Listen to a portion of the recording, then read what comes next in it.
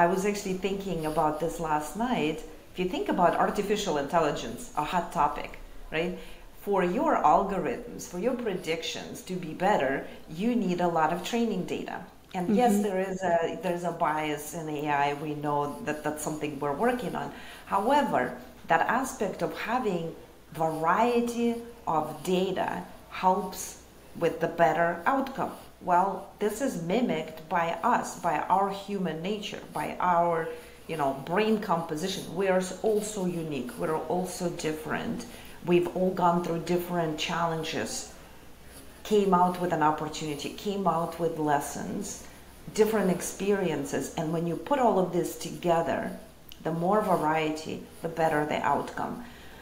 And that's super important to me. And these are the lessons that I have learned by opening myself up to diversity just on a personal level in my day to day life. And I am super thrilled that this has been a focal point of the environment that's been created here at Avenue One when I work today.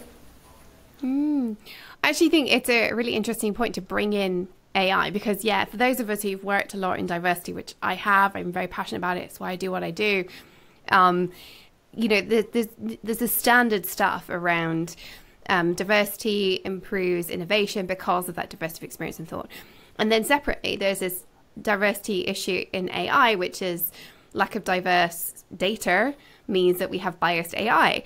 But actually, I really like the something that you didn't quite say, but I think maybe you're getting at, maybe unconsciously getting at, I don't know, which is one of the things that society is missing out on by not having diversity in the workforce is that we're not then generating data for like, you know, executives.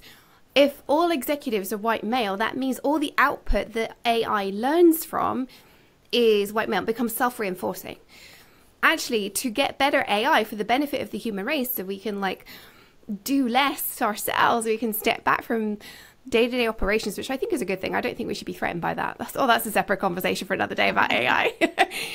um, we actually need to have diversity more than ever because now we're training something else. That's and I think right. it's it's important that we make that explicit link. We now have a duty beyond just our business. We have a duty to the human race.